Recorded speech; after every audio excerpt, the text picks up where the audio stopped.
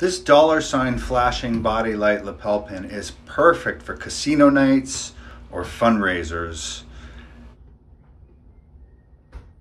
With the LEDs turned on, you can see how they chase around the shape of the S. There's four red and one green.